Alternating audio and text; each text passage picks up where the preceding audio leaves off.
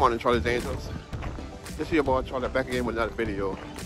Make sure you like, comment, subscribe to the channel as we continue to rise up in 2022. Make sure y'all share my videos.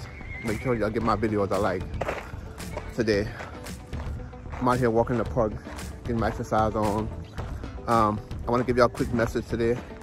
Um, I know everybody's celebrating Good Friday today, and uh, I want to say Happy Good Friday to everybody out there.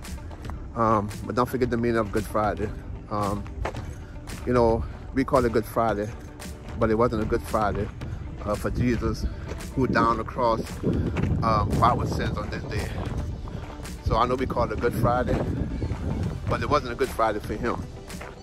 So while we are celebrating today, um, you know, whatever we're doing on Good Friday, make sure we always remember that because we call it a Good Friday, it wasn't a Good Friday for Jesus, but it was a Good Friday for us because he died for our sins on that day. He died so that we can be free.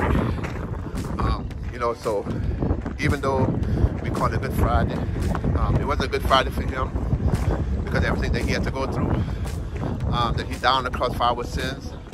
But it is a Good Friday for us because while he died on that cross, all our sins were forgiven. And, um, you know, he accepted us.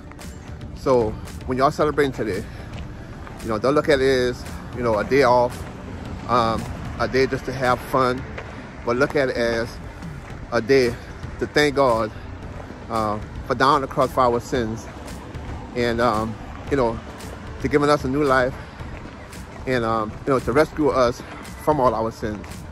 Um, so I want to give y'all just a quick me message today. And um, like I said, happy Good Friday. And don't forget what the meaning of Good Friday is. And I'll talk to you on the next one. Okay, peace.